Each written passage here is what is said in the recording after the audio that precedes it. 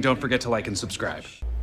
Hello there. All right, watch the movie Dish Dish Dish Drishyam Drishyam Drishyam. Um, yeah, I. It, it's the the mystery that I, I did a trailer reaction to. Um, with uh Ajay. Ajay. I need to learn his last name. Ajay.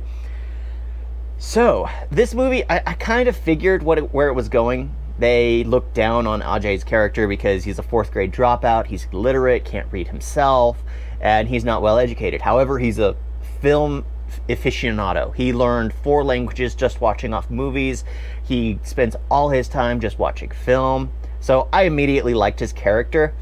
And then immediately, like every time there's something, he starts correlating it with movies and things like he has learned from like courtroom dramas, from like mystery movies, from like how do I do this where no one can find out, or how, how do I assist this person? How do I illegally assist this person so that way they can get, have file complaints and things like that against the officers and very smart because he's not very well read, very well viewed, I guess. Yeah, because yeah, a lot of people are considered very well read when they are well spoken, when they just, you know, well read people are well read people. They read all the time. And you can normally tell because they're well educated, because they've educated themselves basically. They learn a lot because they learn a lot. This person is well versed because he's learned it all off of movies. Yeah, and it was fun watching him uh, critique, I think it was Black Hat a Chris Pine movie where he's talking about the editing and everything's too fast paced. I was like, good, I'm not the only one that complains about the simplest things. So I liked his character immediately from the beginning. Yeah, but I liked how it was basically a family driven film. The whole thing that a family comes together for everything. And honestly, for a second, I was like, maybe they're just pretending to be a good family. Because when they introduced that the, the daughter was adopted, and I'm like, maybe there's another side story there. No, no, they're just a genuinely good family that cares for each other.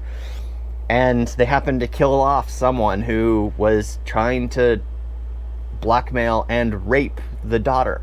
So, yeah, darn right you take care of them and you let the, everyone else suffer. You are in the right there. You self-defended.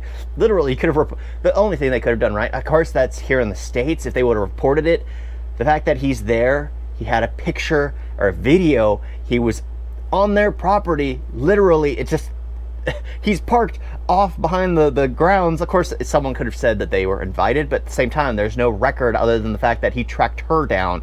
And it's just like, yeah, you know what's. So that's the only thing they could have done differently, they could have thought about.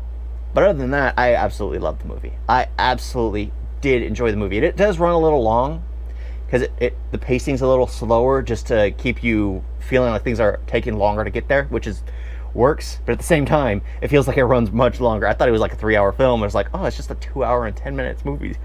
two-hour and ten minutes. Before it's funny. I've gotten to the point where like three hours is nothing because I've seen so many Indian films now, and they're all run from like two and a half to three hours, something maybe a little longer. Yeah, so it's it's become normal for me. yeah, um, yeah, I, I, another movie that I actually really did enjoy. Thank you all for watching. Talk to you next time. Doodles.